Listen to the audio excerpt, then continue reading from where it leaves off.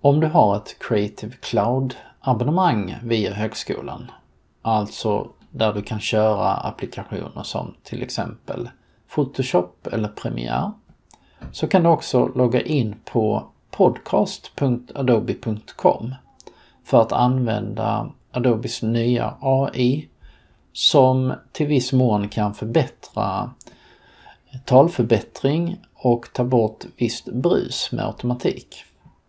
Vi ska testa på en eh, väldigt kort fil som jag har.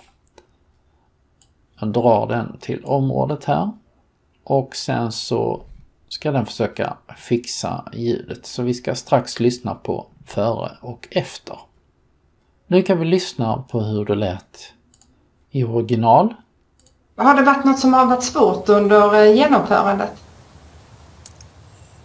Ja, det är ju framför allt att som sjuksköterska man kanske inte är så van vid att arbeta med statistik.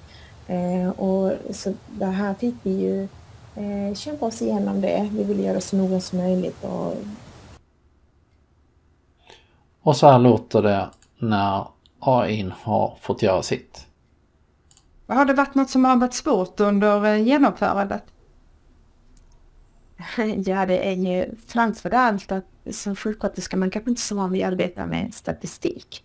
Eh, och så det här fick vi ju eh, köpa oss igenom det. Vi ville göra så noga som möjligt. Och... Sen är det bara att ladda ner filen. Lycka till!